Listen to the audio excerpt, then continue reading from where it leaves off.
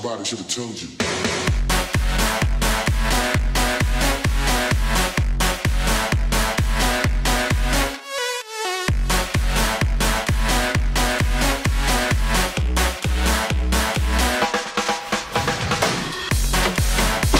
Neața, ți-am adus de mâncare, Gianni. Neața, mă. Da. Mersi. Ce zici? Uite, aștept, nu știu fain. Hai Da. să falim ceva, să ne gândim la... Să avem spor de muncă.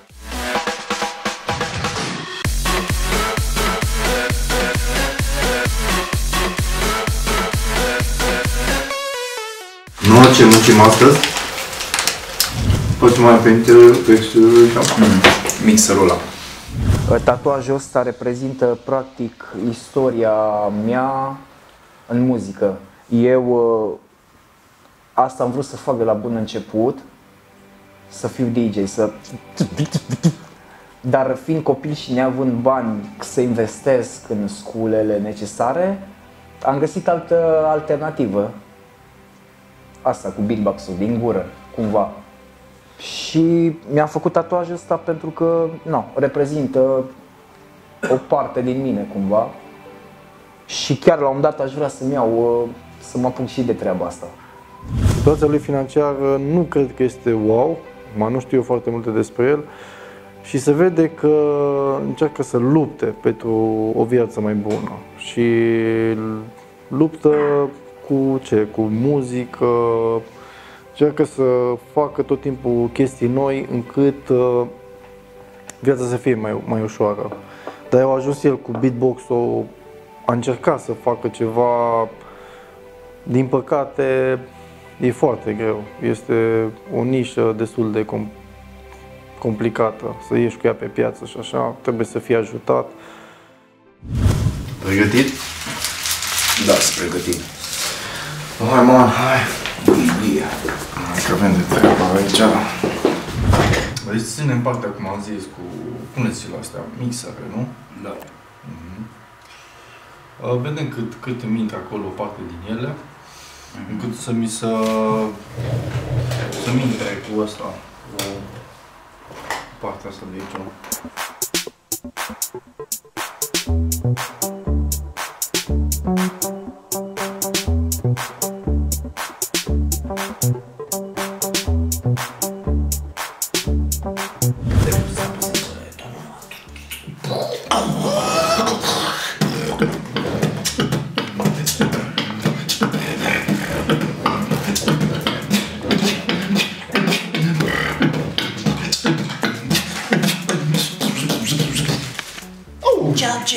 Gianni. Gianni, Gianni, Gianni. Doar Gianni Tatu. Semnificația primului meu tatuaj ar reprezenta că muzica nu are moarte pentru mine personal. Cam asta ar fi. Deși pare, na, e un pic horror, dar mie chiar și acum îmi place foarte mult și nu regret că l-am făcut și mă motivează să-mi fac în continuare. Hai, hai, zi, zi,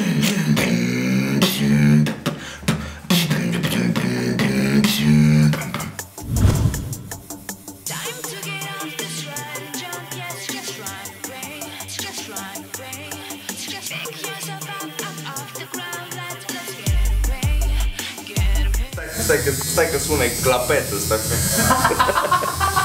da? Unde? Unde trebuie să vin? Să mai iau? Da, da, da, hai că vin imediat să mai iau un comedian. Hai, pa! Lay back, I can take this looping sequence of every mistake. Astăzi am uh, continuat bucata asta un mixer, aici un platan și ca să vă arăt ce, ce reprezintă mai exact tatuajul, o să vă demonstrez puțin.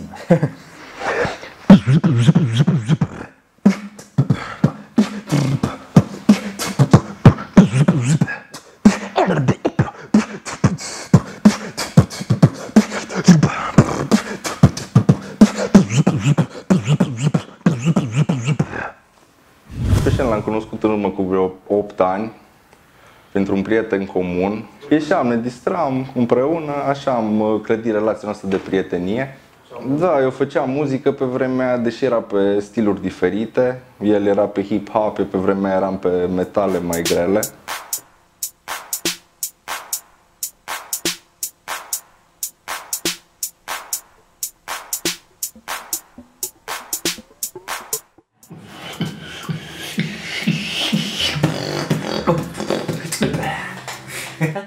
Eram cu bicicleta pe centru. No, eram îmbrăcat un pic mai swag, cu ochelari, cu șapcă, întoarsă, nu știu ce și la un moment dat am văzut în, uh, o, o echipă din asta de la X Factor, erau pe centru, căutau oameni. Și tipa respectivă am și văzut-o, frate, m-am uitat la ei și a, am văzut cum au pus ochii pe mine și am zis, în mintea mea am zis, mamă frate, asta direct la mine vine. Și așa au și fost, frate. Fala do mobile, mobile. Fala do mobile, mobile. Fala do mobile, mobile. You like to move it. You like to mobile, mobile. Fala do mobile, mobile. Fala do mobile, mobile.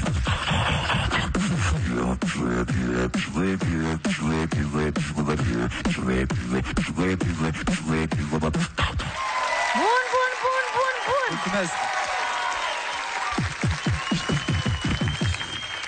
Tare, frățică, tare. Hai să încercăm să cântăm ceva împreună. Hey, yeah. Oh, oh, oh, oh, oh, yeah. Hey, yeah, hey, yeah. Îmi place. Și mie îmi place rău de tot de tine. Răspunsul meu pentru tine e da. Răspunsul meu pentru tine este da. Am să-ți dau și eu un mare da. Serios, chiar vreau să mă înveți. E nevoie de profesor. Vrei să fii profesorul meu?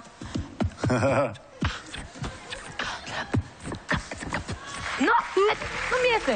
Yoga. Ba, Ești talentat, îmi place. bravo, băi, da. Bravo. Când am toboșar în concert, e bun, mai. Nu-i problemă, nu-i problemă. Trebuie, nu mai trebuie percuție, nu mai trebuie toboșar, nu mai trebuie nimic.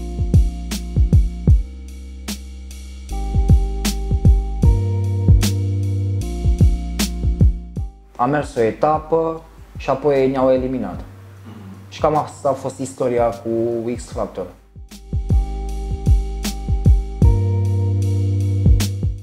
Și consider că am învățat niște chestii. Nu regret nimic. Nu regret nimic pentru că am învățat, am acumulat niște experiență și chiar nu regret. Pentru mine au fost, au fost doar niște experiențe și atât. Și am propus să, să-i facă Cristi un tatuaj pe stilul lui, pe linii, ceva gen old school. Chestia a fost că el a venit și a zis că vrea un boombox. Ca și de la asta a pornit totul. Și ne-am pus de acord să facem un boombox-ul ăsta. L-am modificat oarecum. Da, da. Nu. A vrut neapărat să punem și niște casete pe care să le colorăm. Noi normal am pornit pe un old school, dar până la urmă l-am modificat și l-am dus un pic, l-am schimbat. I-am schimbat și culori, am pus niște culori mai stridente. De început am făcut, am făcut, am plecat pe linii, am făcut toate liniile. Nu l-am colorat în prima ședință pentru că nici n-am mai rezistat. I-am dat daună. Max. mai ales în zona asta aici l-am, Max. l-am spart. Am făcut conturul și după ce s-a vindecat cam 2-3 săptămâni, o lună, a venit și l-am, i-am băgat culorile. Culorile, umbrele astea negre, l-am făcut un pic să pară mai, să nu fie ca un sticker. A fost, nor- a fost cel mai mare tatuaj al meu color, am improvizat foarte mult. Normal a vrut casetele alte culori. Ți minte că am schimbat, am schimbat o culoare parcă din ei, nu? Inițial am avut uh, cu, cu tricolor să fie. știi? Da, să fie tricolorul și după aia am schimbat și am, da. Păi nu, asta a fost uh, cu Liviu Guță, asta Ștefan de la Bărbulești și aici Stana Izbașa. Beauty Mafia.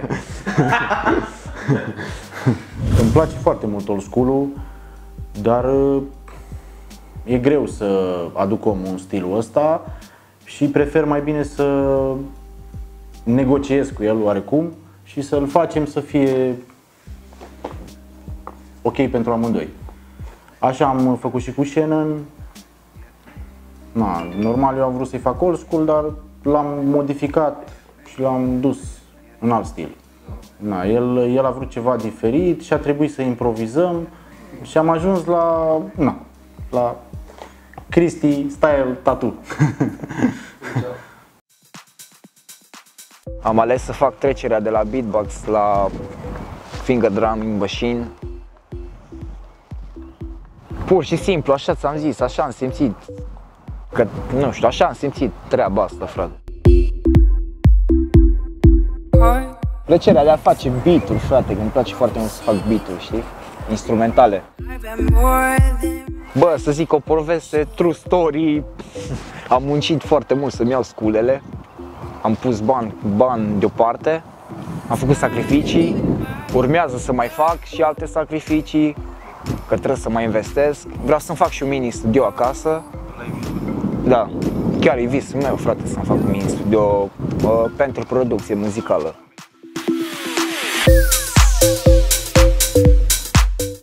Nu mi-am propus sincer să ajung nicăieri, frate. Eu fac muzică de plăcere și asta vreau să fac. Nu, nu mi-am, uh, sincer, nu mi-am mai propus să ajung nicăieri. Dacă la un moment dat dă bunul Dumnezeu să ajung undeva, cu atât mai bine. Și ce zic?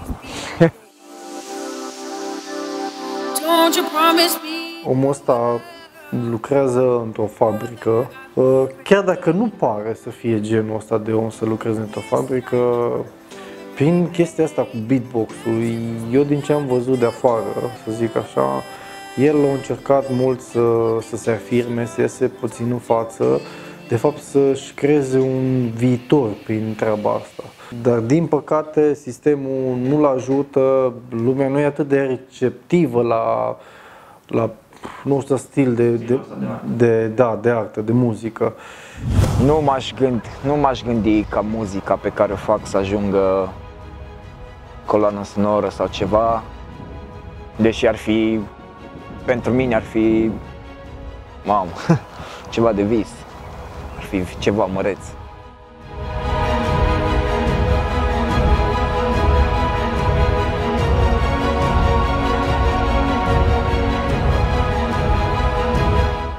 Ia mă să vedem cum e și tatuajul.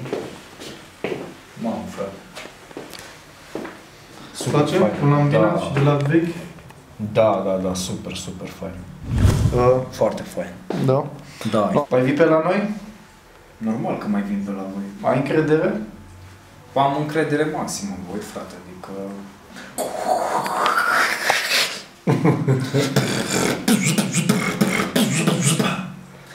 Jack, Jack, Johnny. M-a tatuat și mi-a luat banii. Bine, bă, Mersi, fain, frate. bă, cum arăt drag. Te mai așteptam. Păi cum?